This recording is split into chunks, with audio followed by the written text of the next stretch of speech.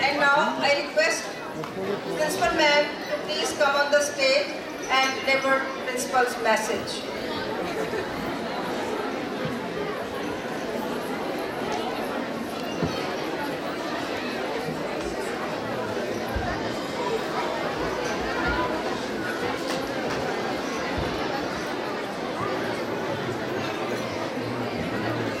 Good afternoon, everyone. Um, I just received a message that anyone who is parked across the street, anyone who is parked across the street in the complex over, um, in the building over there, they're going to get towed.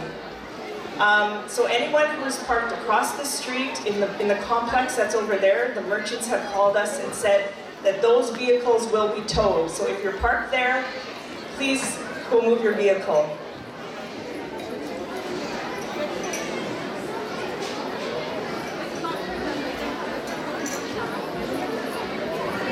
So I'd like to start by saying welcome everyone to our spring concert 2017. We've had to rename it uh, before it was family night. But um, I would like to begin by thanking the Edmonton Khalsa School Management and Board of Directors. Uh, without their support, we would not be here today. I'd also like to thank the MC for tonight, Mrs. Riar, she's the Punjabi school teacher, as well as Mrs. C, where's Mrs. C? Mrs. C, our art teacher, she's made this beautiful backdrop as well as displayed some of the artwork of your students at the school.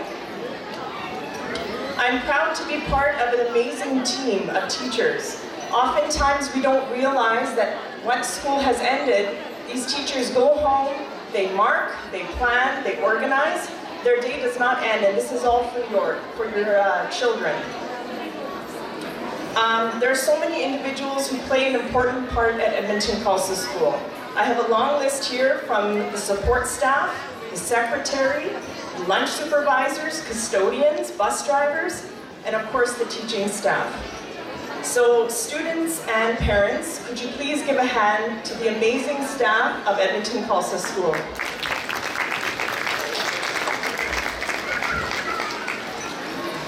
So we have an exciting show for you tonight. The kids have been practicing every day. They have been telling me, oh, can we, can we do the dance today? Can we do the dance today? And I said, one more sleep, or two more sleeps, or three more sleeps.